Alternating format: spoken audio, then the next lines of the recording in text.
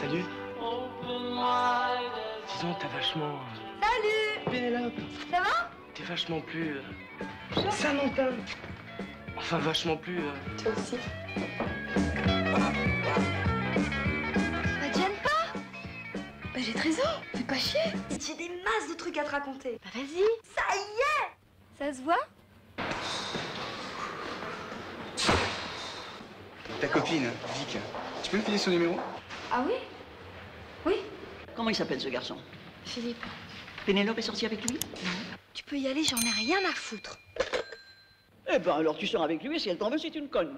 Ah, dis donc, Ta thèse, très très bien, mais alors ta fille sublime. Qu'est-ce qu'elle doit vous en faire voir? Pas du tout, parce qu'elle est très calme. Oh là là, beaucoup plus qu'il y a deux ans. Tu l'as mis à personne d'autre? Personne d'autre.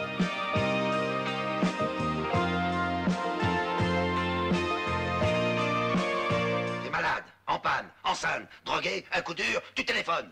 On n'avait plus d'argent. On a fait du stop. C'était pas des coups durs, ça, justement. Parce qu'on était bien. J'étais heureuse. Qu'est-ce qui s'est passé? Elle est heureuse. J'ai jamais... Enfin, j'ai pas encore...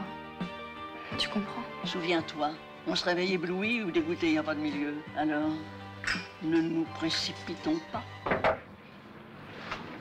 Bah alors c'est pas fini Je t'ai jamais dit ça, avec toi c'est où on se couche ou on se plaque. Bah oui Tu me passes un coup de fil Olivier a mon numéro.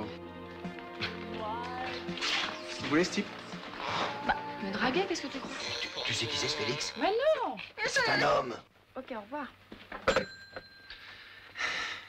Il a quel âge ce Félix?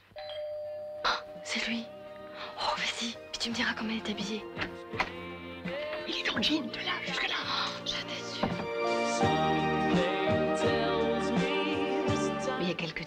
été désespérée. Comment tu sais?